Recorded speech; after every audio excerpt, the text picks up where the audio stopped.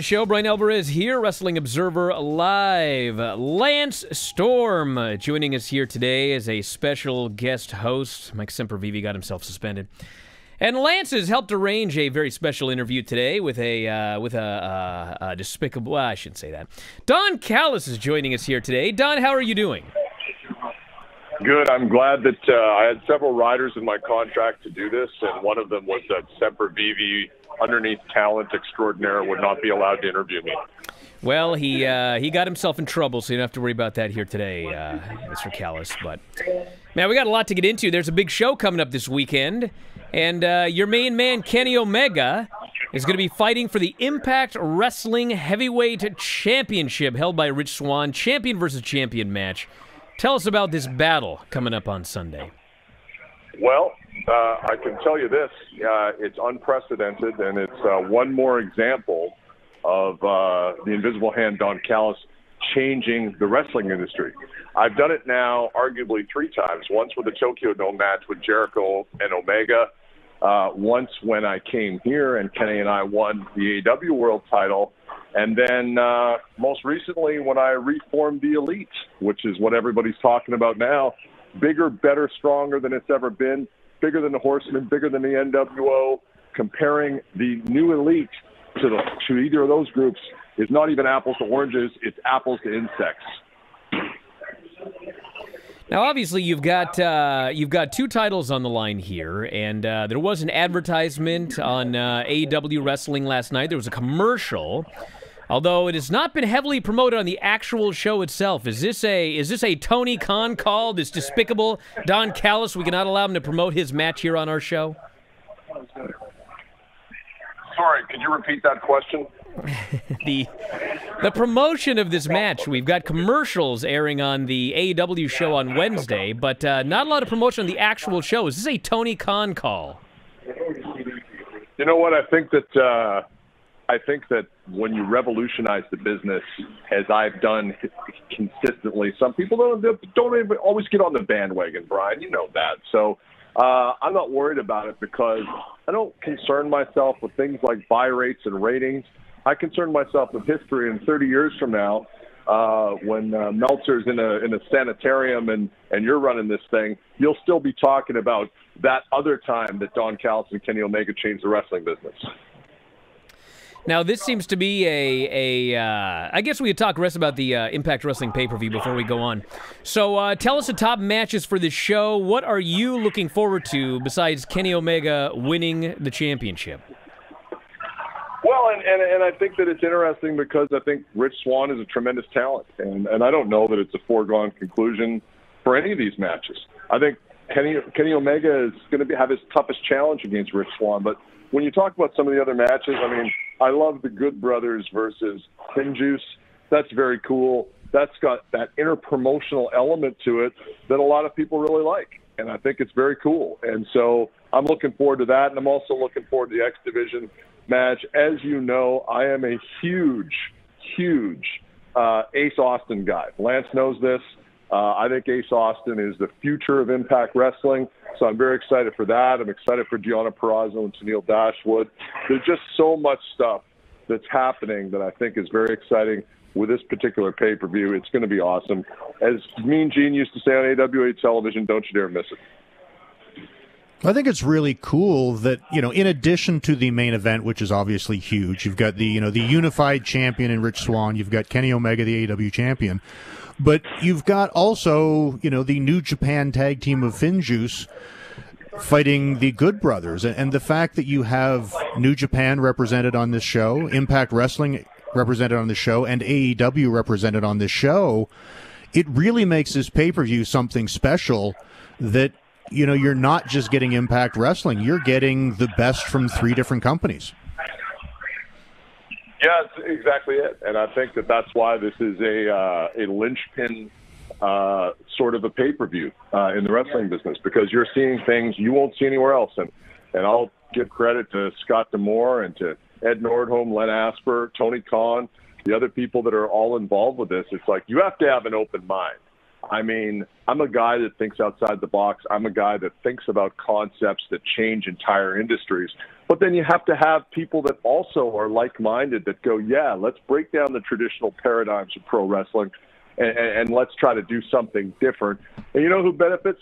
All of the insect fans, Lance. That's who benefits. And guys like you and Bryan who get to make money off of my history changing ideas by talking about it. Now you have had a, a lengthy career, as uh, as Lance can also attest, and you've been all over, and you've done all sorts of different things. And of course, in the in the middle of this career, you you went away for a while, and you uh, you returned to public service, however you want to term it, and then you have made your return here over the last several years. Would you say that this period is the favorite, your personal favorite period that you've worked in this business, or would that have been some other period during your career? First of all, I consider I'm still doing a public service, Bryan, uh, through what I'm doing. Because what did a lot of people say about this business, about this industry? It's boring. There's no choice. We know what's going to happen. It's this, it's that. Guess what? Tokyo Dome, I changed all of that with Jericho versus Omega. And now I've changed it again by breaking down the political walls between companies. So, is it my favorite time? Unlike you and Lance, I have something totally not in common with you. I don't like the wrestling business. I can't stand it. I don't like the business. I don't like the people in it.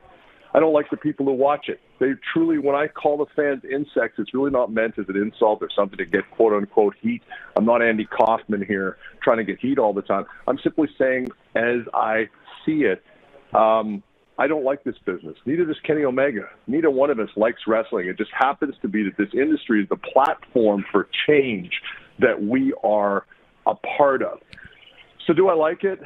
I like the fact right now with the business that it is in a state that Kenny Omega could and I could finally execute our history changing plan that we've had for 27 years since he was a 10 year old boy in Winnipeg.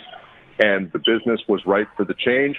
I went away I was waiting. I played the long game, Bryan. Now, when you look back at your career, I can understand uh, the dislike of, of the current wrestling business. Was there ever a period where you loved the wrestling business? Oh no, it's got nothing to do with the style now or anything like that.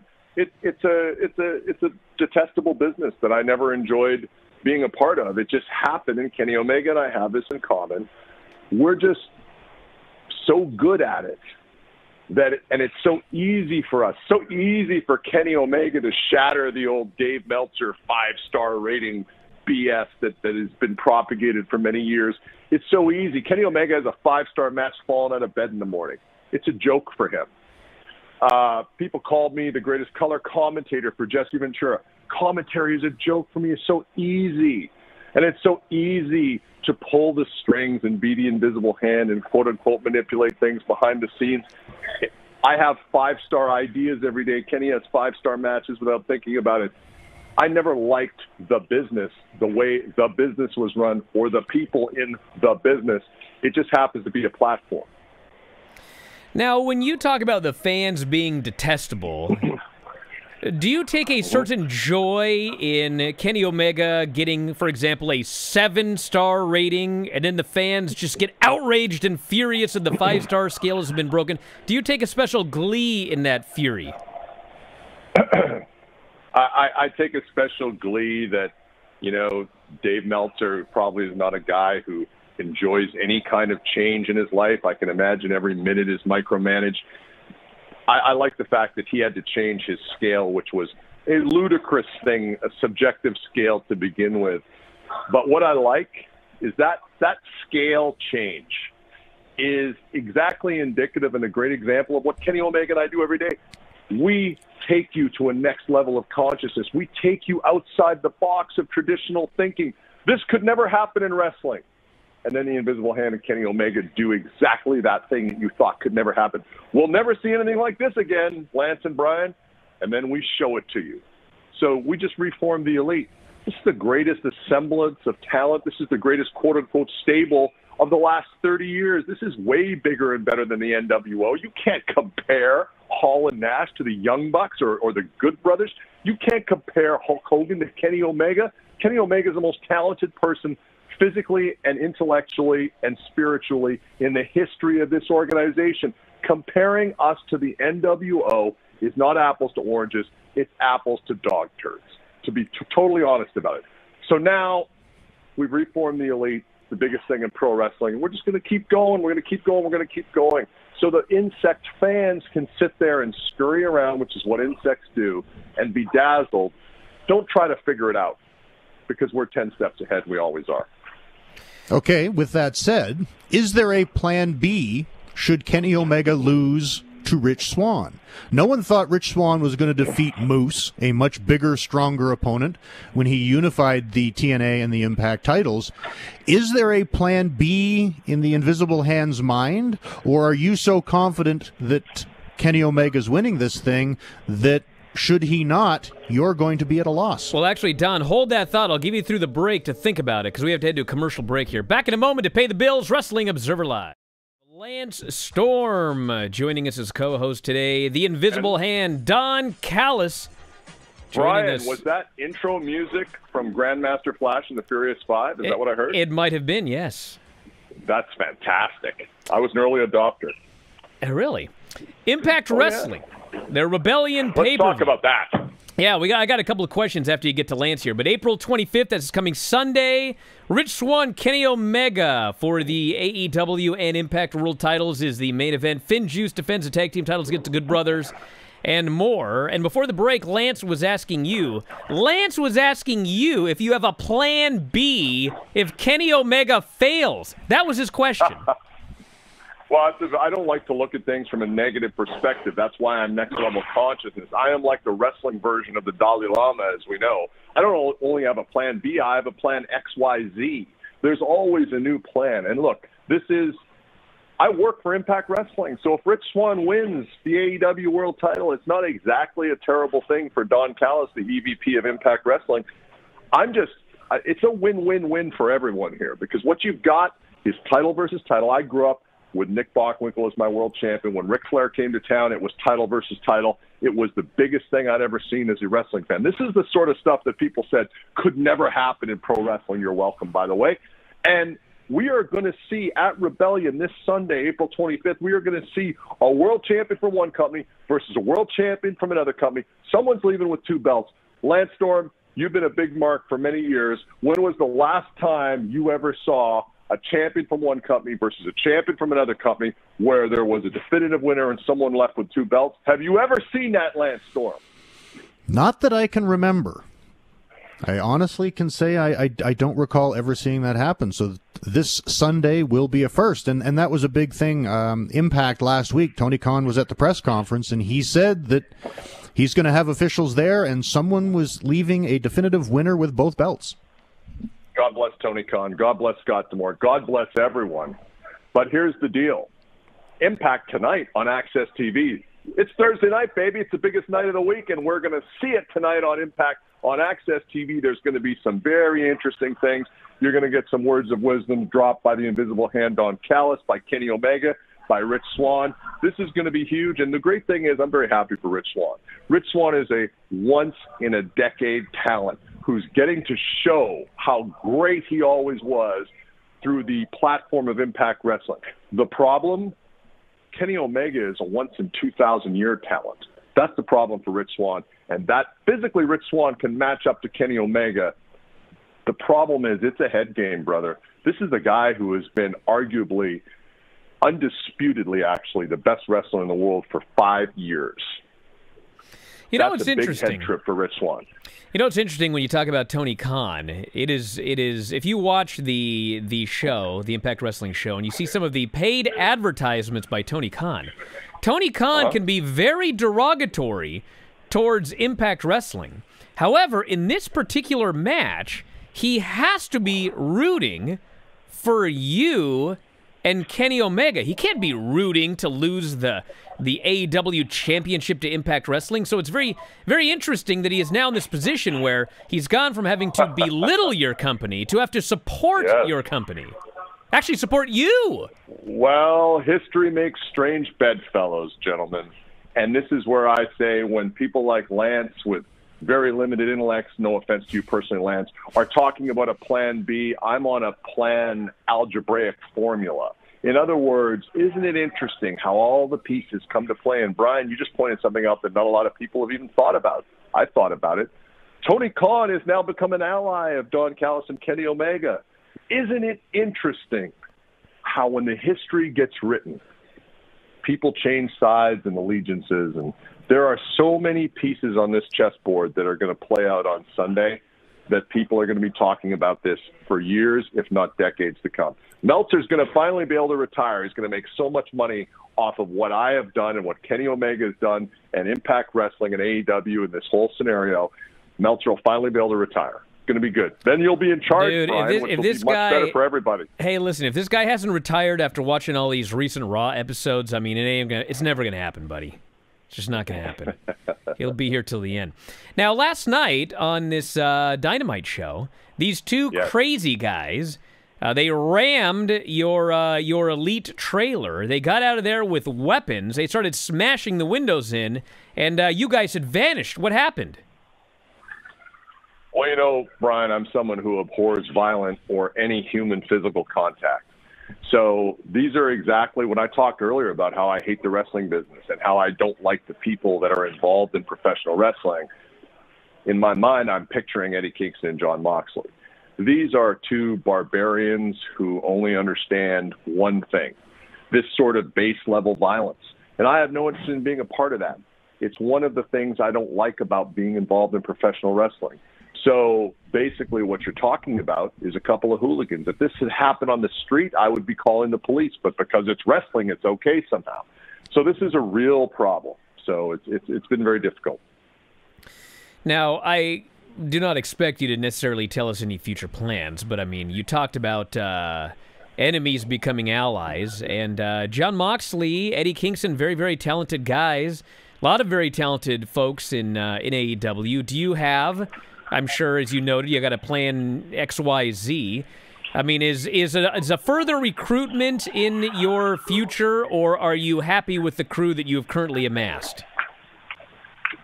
You know, life changes all the time, Bryan Alvarez, and I'm expecting more changes to come. That's all I'm going to tell you. Deonna Purrazzo and Tennille Dashwood are fighting for the Impact Knockouts title. And uh, tell us a little bit more about your thoughts on this match.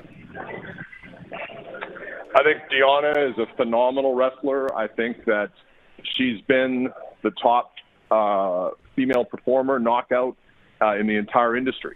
And I think Tennille Dashwood, who's a Lance Storm trainee, won't hold that against her. I think she's someone who's going to have a lot of success. So I, I'm I'm very excited about that matchup because it's another one of those ones where you really don't know what's going to happen. Now, earlier you mentioned Ace Austin, and you you spoke about what a, a personal fan you were of his. Which, by the way, when you talk about when you talk to a guy who hates wrestling, but he's actually a fan of a wrestler who's not Kenny Omega, that's really saying something. So, what is it about Ace, Ace Austin that uh, that is so impressive to you? To me, Ace Austin is like Rob Van Dam in ECW. Phenomenal lower body strength, freaky athlete. When Ace Austin's brain grows into his body, Ace Austin will dominate Impact Wrestling. That's my honest opinion. And uh, I'm just, you're talking about a guy who's 24 years old and can literally do anything. That's Ace Austin. I'm looking forward to a bright future for him. Now I know that uh, there must be a humble bone somewhere in your body, Don. No. As you look back on all of the ways that you have changed the business of pro wrestling, can you Yep. humbly at any point state that there was anything that you accomplished where you actually were surprised that you managed to pull this one off? Uh, I got a hot comeback at a Lance Storm once in a match. Wow. I was shocked at I was shocked at that. He showed some good fire. No, I mean in all seriousness, I mean everything that I do in the industry is is, is planned. It's planned several steps. It's not something that's just happenstance. So you know the, the the plan with Kenny and the AEW title was 27 years in the making. So when you plan things and you have the patience and you have the ability to dream big, many people dream small, then you're never surprised because there's always an outcome and there's a plan X, Y, and Z, not just a plan B. Sure, but but when you think about okay, you got a plan A and you've got a plan all the way to X, Y, Z. There has to be by by saying that you're saying that sometimes I got a plan A and well, you know, maybe maybe it will, maybe it won't. I got a plan B, et cetera, et cetera. So that means that at some point there you have to have um, an element of surprise where like I've got a plan A and well, I'm probably going to have to go to plan B, but then suddenly plan A works, and you're like, wow, I pulled that one off. Like the, the Jericho uh, working the Tokyo Dome, for example. Uh, clearly. I think that, I think I had no doubt that if the three of us could put it together, we would change the entire landscape of the business. My doubt, I guess, and, and the area for surprise was Chris had always told me I'll never work for anyone other than Vince McMahon. So that phone call when I was in Tokyo at the Tokyo Dome Hotel and I called Jericho with that idea, my doubt was not what we could accomplish. It's whether Chris could get to that next level of consciousness where he would say, I'm going to do the one thing I said I would never do, and that's work for somebody else. So I will say that was a surprise, as was never getting thanked for that. Okay, but not in by that, Chris, but by companies. Uh, in that same vein, I think what Bryan may be asking is what accomplishment, what invisible hand accomplishment that you've had that you had to pull the most strings to actually pull off? Like, what did you think was your biggest coup? I think we're still living it right now, but I think it all started uh, Christmas 2019 when I called Kenny Omega and I said, that idea we've been talking about loosely for the last 27 years, I think the timing is finally right. And I think this is how it's going to play out.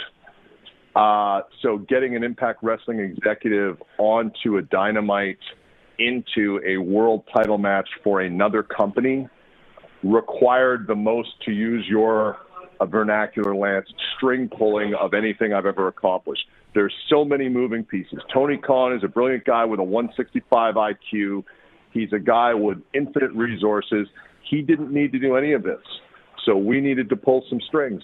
Scott D'Amore and Ed Nordholm were very open, open-minded to these things, but there's still work that had to be done behind the scenes. And then Kenny Omega, you know, people say, "Well, does Kenny need someone by his side?" Kenny and I have always been by each other's side. So this is required. This last project, I would say, has required the most string pulling, as did bringing the Bucks back into the fold because the Young Bucks and Kenny were estranged. There's no question. There was a lot of uh, grief in between all of them.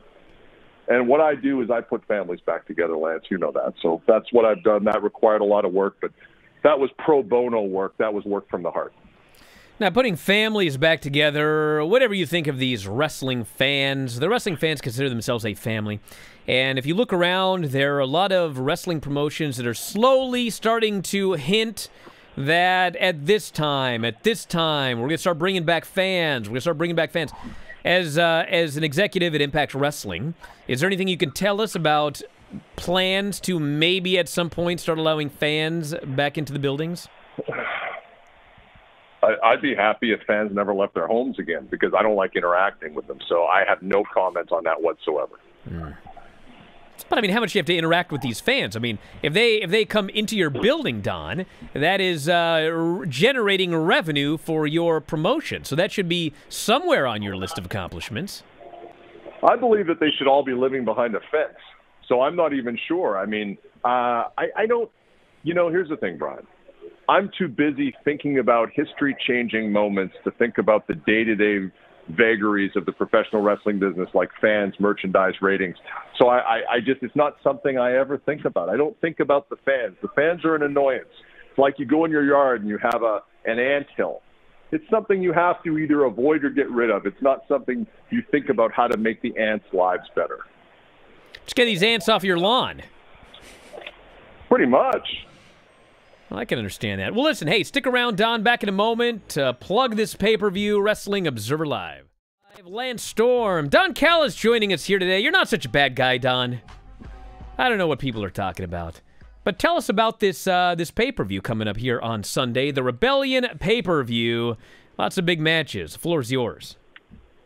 I am super pumped about Rebellion. I am super pumped about everything associated with it. This is a history making night for Impact Wrestling, for AEW, and I guess for all of the Insect Wrestling fans out there. Rich Swann versus Kenny Omega, champion versus champion. Guys, there will be a winner, and that's going to be very exciting. Tony Khan said it, Scott D'Amore said it.